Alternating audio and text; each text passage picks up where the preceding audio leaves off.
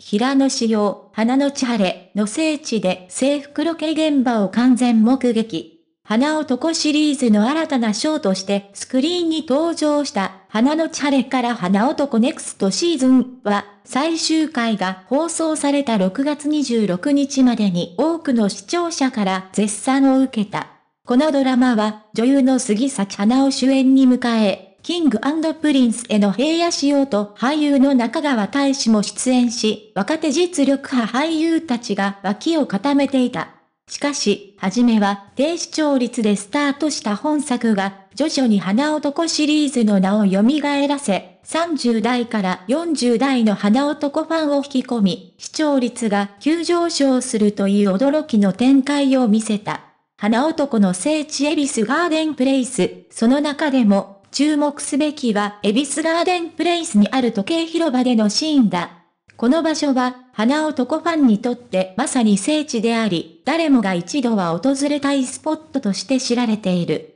かつての花男シリーズでは、松本潤演じる道明寺が井上真央演じるつくしを誘いシーンがこの場所で撮影され、その名場面は多くのファンに愛された。花の千晴れの新たなシーン今回の花の千晴れでも、晴れ平野市、洋画、夫杉、咲花を誘う場面でエビスガーデンプレイスの時計広場が登場した。この瞬間は、シリーズファンの間で大きな話題となり、視聴率の急上昇に一役買った要因となった。ファンの熱狂、実際、平日や休日を問わず、ガーデンプレイスの時計広場にはファンが行列を作り、記念撮影を楽しむ姿がよく見受けられる。しかし、6月23日の土曜日の午前10時頃、時計台の前に現れた黒っぽい制服を着た若い男性が話題となった。その男性こそ、主役の一人である晴れ役の平野仕様だった。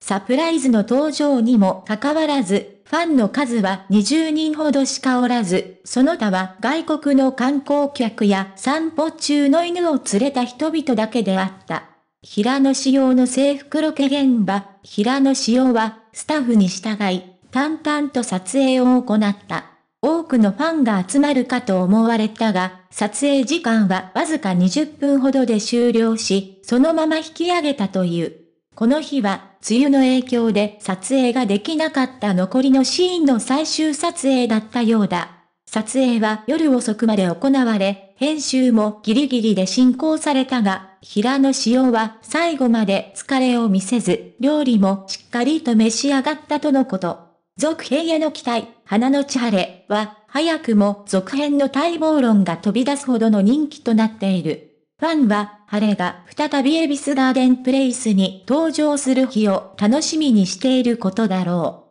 花の千晴から花男ネクストシーズンは、花男シリーズの新たな一章として登場し、多くのファンを魅了している。エビスガーデンプレイスの聖地での制服ロケ現場に平野仕様が登場した瞬間も、ファンにとって特別な瞬間となった。今後の続編に期待が高まる中、花男ファンはますますこの作品に夢中になりそうだ。